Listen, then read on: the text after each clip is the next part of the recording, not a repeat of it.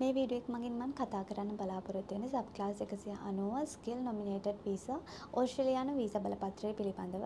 මෙතනදී නම් කරන ලද ස්කිල් වර්කර්ස්ලාට ඕස්ට්‍රේලියාවේ ටෙරිටරි එක හරි ස්ටේට් එක හරි ස්ථීර පදිංචිය සඳහා අවසර ලබා දෙන වීසා බලපත්‍රයක් තමයි මේක. මේකත් පොයින්ට් ටෙස්ටඩ් වීසා බලපත්‍රයක්. ඒ කියන්නේ ඔයාගේ EUI එක සලකලා බලලා ඒ ඒ ක්‍රයිටීරියා වලට පොයින්ට්ස් ලබා දෙන ඒ ඒ ක්‍රයිටීරියා වලට ඔයා ගන්න ලකුණු ප්‍රමාණය මත පදනම් වන වීසා බලපත්‍රයක් තමයි මේක. ඔයා අනිවාර්යයෙන්ම ලකුණු 60ට වැඩිය මෙතනදි ගන්න ඕන. ඔයාගේ නොමිනේෂන් එකට ඔයාට ලකුණු 5ක් රජය මගින් ලැබෙනවනේ. ඔයාට ලකුණු 60ක් තමයි ස්කෝර් කරගන්න ඕන සබ් ක්ලාස් 190 යටතේදී. මේ ලකුණු 65 ගත්ත පමණින් ඔයාට මේ වීසා එක ලැබෙයි කියලා තහවුරු කරන්න බෑ. මොකද ලකුණු 100, 110, 90, 85 අන්න ඒ වගේ ලකුණු මට්ටම් ගන්න අය ඉන්නවා. ඒ අය අතරින් තමයි ඔයාව තෝරගන්නේ. ඒ අය අතර තියලා රෑන්ක් කරනවා. ඒ රෑන්ක් අනුව තමයි එයාලා ඉන්වයිට් කරන්නේ වීසා එක සඳහා ඇප්ලයි කරන්න. කරන්න. මේකෙදි මම කියන්නේ උපරිම ලකුණු ගන්න පුළුවන්. ඒ කියන්නේ ලංකාව තුල ඉඳලා ලකුණු 100ක් 110ක් ගන්න අමාරුයි. නමුත් ගන්න පුළුවන් ටිකෙන් ඔයාට උපරිම ලකුණු ගන්න පුළුවන්. ලකුණු 75ක් 80ක්වත් ස්කෝර් කරගන්න පුළුවන් නම් ඔයාට පොයින්ට් ටෙස්ට් එකේදී ඒ සුදුකම් ඔයා සපුරලා තියෙනවා නම් ඔයාට මේ වීසා එක ග්‍රාන්ට් කරගන්න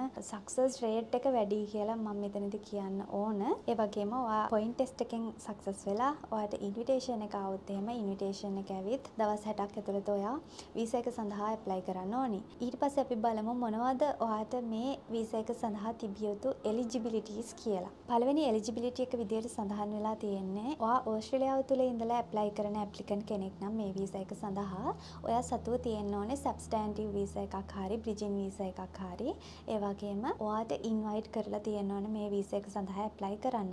ඔයාගේ EY එක සලකලා බලලා ඉන්වයිට් කරලා තියෙන්න ඕනේ. ඒ වගේම ඔයාට suitable skill assessment එකක් තියෙන්න ඕනේ. ඔයාගේ occupation එකට අදාළව positive ඉන්ටර්විව් ස්කිල් ඇසස්මන්ට් එකක් තියෙන්න ඕනේ සහ ඔයාට කම්පිටන්ට් ඉංග්‍රීසි අත්‍යවශ්‍යයි. මේ වීසා එක සඳහා අයිදුම් කරන්න කම්පිටන්ට් ඉංග්‍රීසි කියලා ගත්තාම IELTS වගේ නම් each band 6 වගේ තියෙන්න ඕනේ ඔයාට මෙතනදී ඔයාව නොමිනේට් වෙලා තියෙන්න ඕනේ ඔයාගේ UI එක සලකලා බලලා. යම්කිසි රජයක් මගින් හරි ප්‍රාන්තයක් මගින් හරි ඔයාව නොමිනේට් කරලා තියෙන්න ඕනේ ඔයාගේ වීසා එක සඳහා ඇප්ලයි කරන්න ඔයාව නොමිනේට් වෙලා තියෙන්න ඕනේ මේ නොමිනේෂන් එකේදී ඔයාව යම්කිසි රජයක් මගින් හරි ප්‍රාන්තයක් මගින් හරි ඔයාව නොමිනේට් වුණාට පස්සේ ඔයාව නොමිනේට් වුණොත් ඔයාට ලකුණු පහක ප්‍රමාණයක් පොයින්ට් ටෙස්ට් එකට ලැබෙනවා. එතකොට ඔයාට ගන්න අවශ්‍ය වෙන්නේ පොයින්ට් ටෙස්ට් එකෙන් ගන්න අවශ්‍ය වෙන්නේ ලකුණු 60ක ප්‍රමාණයක් විතරයි මේ වීසා එක සඳහා ඔයා සුදුසු වෙන්න. ඒ වගේම ඔයාගේ වයස අවුරුදු 45ට අඩු වෙන්න ඕනේ. 45ට කියන්නේ දැන් ඔයා EOI එක සබ්මිට් කරලා ඔයාගේ ඉන්විටේෂන් එක ආවට පස්සේ නම් ඔයාට 45 පිරුණේ. ඔයාට මේ වෙලාවේදී ඇප්ලයි කරන්න පුළුවන්. නමුත් ඔයාගේ EOI එක සබ්මිට් කරලා ඉන්විටේෂන් එක එන්න කලින් නම් ඔයාට 45 වුණේ.